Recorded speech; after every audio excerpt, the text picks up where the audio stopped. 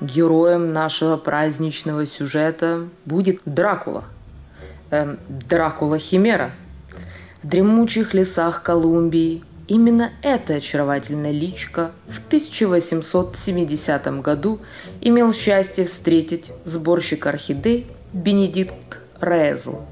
Честь ознакомить широкую общественность с этой находкой выпала ботанику-систематику Рихенбаху – Новая находка потрясла воображение многих, обнажив захватывающее чувство восторга и удивления своей гротескностью и эксцентричностью.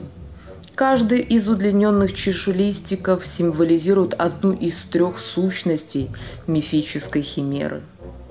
Волоски, обрамляющие губу, как ощетинившаяся шерсть вокруг хищного оскала – Лица всех представителей рода Дракул легко узнаваемы.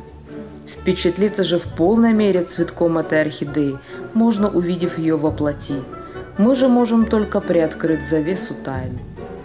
Дракула и в этот раз проявила свой мистический характер, зацвев в канун Дня всех святых.